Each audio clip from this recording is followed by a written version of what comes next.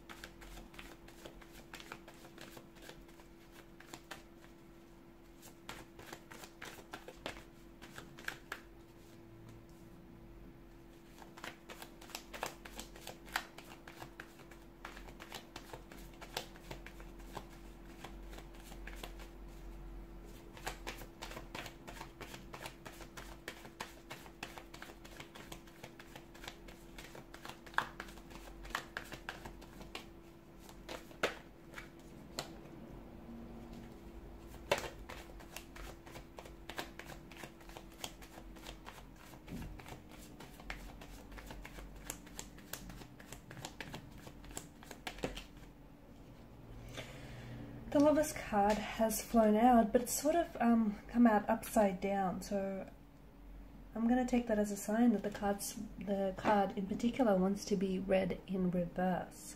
And it's interesting that the two cards you do have in reverse are the Lovers and the Page of Cups. Firstly, I'm seeing that this person didn't necessarily love you the way that you want to be, you wanted to be loved maybe they were not emotionally available. Maybe they were you know incapable of meeting your needs your expectations here when it comes to love. But i feel like what this person has taught you okay? I feel like the reason why the two of you have crossed paths um, is a num there's a number of reasons here. So it's not just you know they've come into their life into your life for a singular purpose. I feel like there's a number of lessons to have emerged from out of this relationship and out of this emotional experience. Um, it, feels like there's a bit of an awakening. It feels like there's, um, it feels like there's a fact. There's many factors why the two of you has have crossed paths here. Uh, one of them being is that I feel like this person was opening your eyes to the simple fact that you have to allow the right person to come into your life, either through fate, through destiny, or through chance. Some of you in the past, or with with regards to this particular um, individual, you have sort of tried to force. Okay, you you tried to, you know, you tried to sort of see potential partners as being the one for you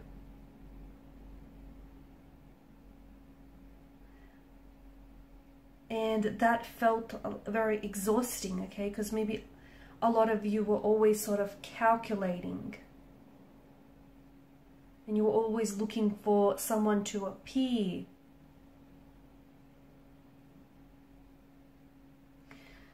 But I'm seeing what is much less exhausting is that just allow for the right person to enter your life and don't try and force a match between yourself and someone else. That is going to be far less exhausting and far more rewarding as well than you constantly trying to find the right fit, the right one, or you know, try and force fit something to happen. So allow love to find you instead of going out to find it, if that makes sense. Okay, so allow love to happen naturally and that will feel far less stressful and far less exhausting in the process rather than have something that's contrived or you know not necessarily real here. Also um, there's this the two of you have definitely attracted each other okay? Like attracts like not in the sense that you want to attract someone whose personality is exactly like yours, but the idea behind that is you want to attract a love that attracts itself to you. But that obviously begins with you. So, in order to attract a healthy partner and in order to attract someone who's going to love you the way that you want to be loved, you need to be you, you yourself need to be that healthy partner. You yourself need to show yourself some self-love and some self-care you yourself need to show yourself kindness, love, and compassion, and only then can you attract, right? The idea behind the law of attraction or like attracts like is that is that the energy you give off is then attractive to others. So being positive and being confident with yourself and you know with who you are is most certainly going to attract a love that is similar to you in its own time. But again, just allow, you know, love shouldn't be a burden here. And for some of you, you've, you, I'm getting that you've honestly exhausted yourself in the process trying to make this connection happen. And even though I'm not saying that there wasn't an emotional connection or there wasn't feelings uh, of love involved, it just felt like you were a lot more invested and you were really exhausting yourself in the process. You were really expediting yourself and finding the right person or find you know just trying to make this happen um, it's a funny thing you know if you let love happen naturally it most certainly will walk through the door unexpectedly when you least expect it. But for some of you you know it, it shouldn't be burdensome. It should be fun. That's what it should be right? Not burdensome but fun Patience, it's also taught you this connection with this person, okay, this particular individual. It's also taught you, you know, it can, you know, there's the whole notion of the right person at the wrong time. So just because it didn't work out, it doesn't mean that it might not work later down the track. But just allow yourself to learn the lessons that it's taught you about yourself as an individual, about yourself as a romantic partner here, as a husband, as a wife, as a girlfriend, as a, as a boyfriend here. Patience is going to bring the right person along. Okay, but patience is the key to finding that right person or letting love find you. Rushing into finding someone or making just anyone fit that profile of being the one is going to open you is open is going to open you up to the vulnerability of falling for the wrong person okay? Falling for the wrong one or just someone who might be looking for a bit of fun or a bit of a casual fling okay? So it all begins with you and i'm seeing that you know there's a lot of lessons with regards to this connection okay? They loved you but not in the way that you wanted to be loved okay? They couldn't necessarily you know maybe you wanted commitment and they wanted a little bit of fun okay so i think there was essentially this person came into your life and it's like they held up a mirror to you and this person reflected back to you things about your shadow self aspects shadow aspects about yourself that you need to work on okay? You've definitely attracted this person into your life okay? Everything that every person that comes into your life okay? Every positive or negative experiences is a direct manifestation of your thoughts of your attraction here. So you've attracted this person just as they've attracted, you know, them into your life, sorry, you into their life. But I don't know that this is your forever person because we do get with the lovers in reverse and the page of cups, we either get that this is a connection that's ended, perhaps temporarily or perhaps, you know, for the long haul. But it was not for nothing. There were so many lessons and there was so much growth that has come out of it. I mean, was it uncomfortable? Was it challenging? Was it tumultuous? Yes. But was it burdensome yes was it fun at times yeah it was and and you know was there love yes maybe not as much as you wanted to have been uh, was there lust yes i mean you know there was a lot of goodness to have come out come out of this and there was a lot of lessons okay? So both a blessing and a lesson.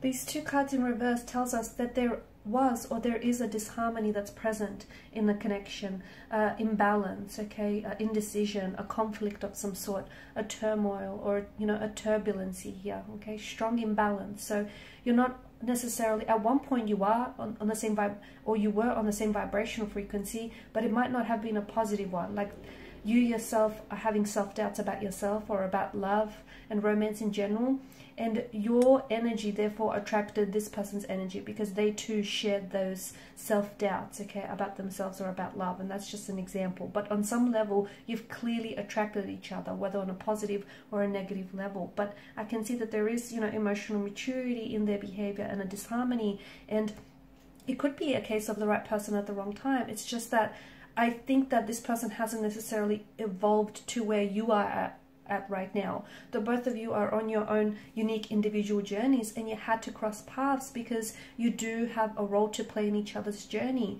Uh, for some, it's just going to be, you know, they're only going to be take up a chapter of your book. For others, they may stay longer than that. They may still, they may stay till till the end. They may come in and out of your life.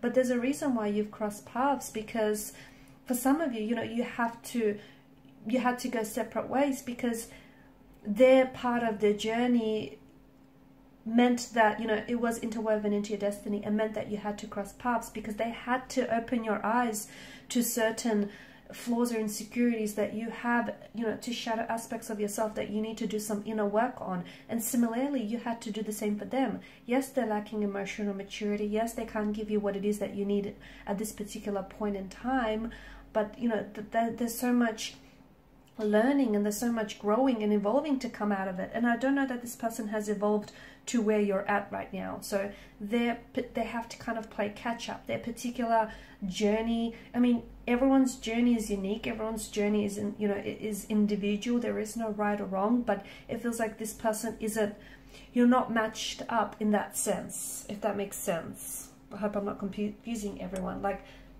you had to cross paths but for the time being that's you know there, there were lessons that this person has brought um, to your attention but I don't know that this person has anything else in them um, I, I feel like this person has served their purpose for the, for now okay? And I think it's important that you you know don't discount or dismiss this experience and that you open yourself up to you know all, all the lessons all the lessons and the teachings that this individual brought into your life about yourself about romance about relationships you know about maybe attachment styles because it's there's a lot of growth a lot of expansion in the energies here. And it just feels like right now you're part of the journey the part of the journeys that you're both at they don't match, they don't overlap, they don't cross over. So this is why you have to part ways so that they could do some inner work, so that they could do some growing, some evolving and some learning. And, you know, you could do the same. Um, unfortunately, you this is the part of the journey which I feel like you have to undertake in solitude, at least for the time being. And it feels like when you're much more closely aligned and, you know, much in much more vibrational sync and uh, frequency with one another, it's likely that your paths will cross again. I mean, they will, because I feel like the destiny of this connection has not been fully fulfilled. It hasn't been fully realized. So I do see that your paths have crossed. There is an imbalance, but I do feel like your paths will cross again. And I feel like this is something that you intuitively know and you also feel. That's why you shouldn't be scared to let them go because essentially whoever is meant for you, whatever is meant for you, will come back, will naturally gravitate towards you. And it may take a little bit longer than you imagined, but love is patient, love is kind. So do give it the you know the time and the patience that this relationship requires. Okay guys and these are your messages. Thanks so much for your time your energy. Please show your support by liking sharing and subscribing to the channel. Bye for now